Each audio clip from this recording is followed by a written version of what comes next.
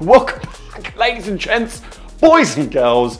Mm, I'm excited. Hopefully, you are as well. Three Minute Thursday is back. It is three minute tutorials on videos that I release on a Thursday teaching you flair bartending techniques. Let's get down and involved into today's move, which looks like this.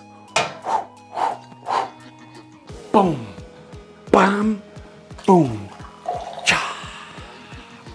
so let's break, break it down. Do, do, do, do.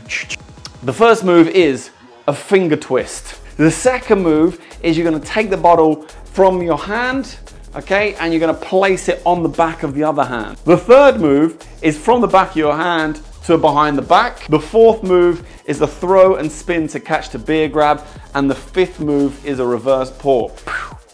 Hand in front of you, palm down, twist towards you grab in between your index and your middle finger like so.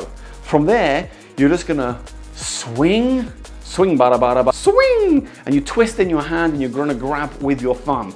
As it twists and turns around, you keep turning it, grab it in the other hand underneath and turn it again. At this point, you're gonna bring your hand, hello, underneath the bottle here, and from there you're gonna push up and as you push up, you're just pushing it behind your back, just gently behind your back into your hand to catch behind your back. Then you turn around, you bring your hand up, back of your hand facing towards you. You're gonna spin your fingers off the bottle so the bottle spins in the air.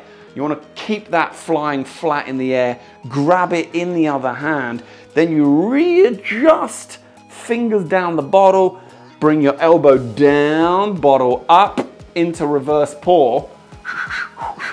Bosh, bash, bosh, yes. So, quick recap. Palm down, bosh, twist, turn, back of the hand, catch, throw, pour. You can break it down slower. Twist, turn, stall, catch, throw, reverse, bounce, bosh.